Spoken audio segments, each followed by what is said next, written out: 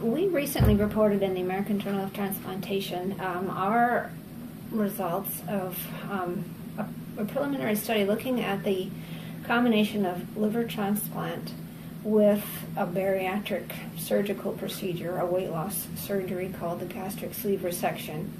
We combined these two procedures in patients who did have um, basically what we would consider refractory uh, obesity or, or, excess weight that they were not successful in losing prior to transplant, um, despite really working very hard at attaining weight loss prior to liver transplant. So in a selected group of patients who were unsuccessful with weight loss prior to liver transplant, um, in which their obesity was a likely component of their liver disease, we combined liver transplant with gastric sleeve resection, and we reported uh, our results in that um, series of patients. It was a small uh, series of eight patients uh, who underwent this combined procedure, and we found essentially that the procedure was um, safe and appeared to be effective, at least with uh, a short uh, one year follow up.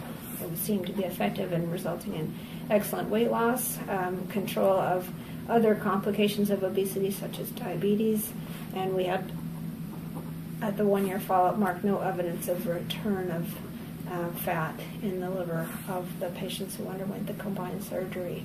We reported our um, outcomes in the patients who did not have the weight loss surgery because they were successful with weight loss in the same series, and those patients actually, um, many of them did have recurrence of their obesity post transplant. So, at least in the preliminary finding, this does appear to be a potential strategy that we could employ going forward in patients with the combination of obesity and end stage liver disease who require liver transplant the most uh, important thing to know is that our data is preliminary. Uh, we don't have a large experience to date, um, but this is a very important area going forward given the high incidence of obesity in the population as well as the incidence of liver disease. Um, currently, obesity related liver disease is one of the fastest rising indications for liver transplant, and certainly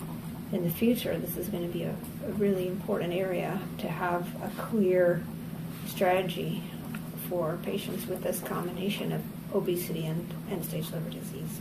The procedure is performed um, in conjunction with the liver transplant. A patient is first um, successfully undergoes a liver transplant. If the liver allograft is um, appears to be functioning, the patient is stable, um, we then proceed to the gastric sleeve resection, and, and that all is done at the same time. In our experience, it did not uh, noticeably increase our operative time. Um, the gastric sleeve resection is a weight loss operation that creates a small, basically a small sleeve. The stomach is converted into a small tube rather than being a larger reservoir.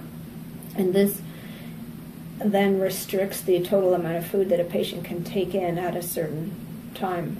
Um, so it's considered a restrictive weight loss operation as opposed to the standard weight loss operation, which is a gastric bypass, which combines a small gastric pouch, a restrictive procedure, with a malabsorptive procedure. This surgery does require um, basically it's a longer procedure with more uh, connections that need to be done, and the gastric sleeve is a simpler procedure, which is why we selected that option. And the weight loss typically would be slower in this operation, which we think would be favorable in the combined uh, operations.